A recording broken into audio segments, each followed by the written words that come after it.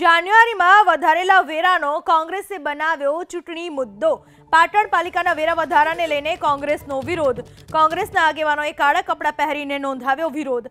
વેરો વધારો પરત ખેંચવાની માંગ સાથે કોંગ્રેસનો વિરોધ. કોંગ્રેસના કાર્યકર્તાઓએ વિવિધ બેનર્સ સાથે કર્યા સૂત્રોચ્ચાર. પાણી, સફાઈ સ્ટ્રીટ લાઇટ સહિતનો વેરો ડબલ કરાતા વિરોધ. કોંગ્રેસના પંદરથી વધુ કાર્યકર્તાઓની પોલીસે કરી અટકાયત.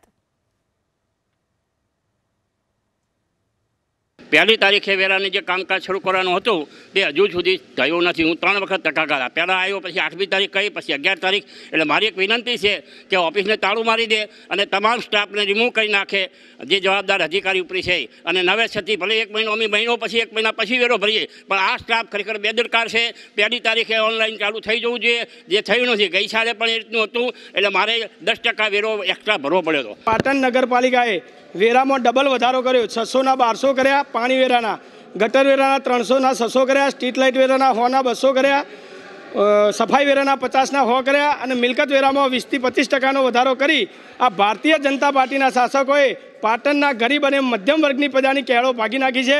ત્યારે આ કોંગ્રેસ પાર્ટી ગરીબ અને મધ્યમ વર્ગની સાથે અને પાટણ નગરજનોની સાથે રહી અને આ ભાવ વધારાના વિરોધમાં આજે ઉગ્ર આંદોલન કર્યું.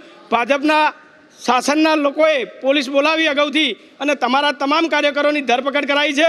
પણ અમે ક્યારેય પાટણની પ્રજાનો અવાજ બનીશું અને પાટણની હવાનો પ્રજા બની ઉગ્ર ભાવ વધારાનો વિરોધ કરીશું.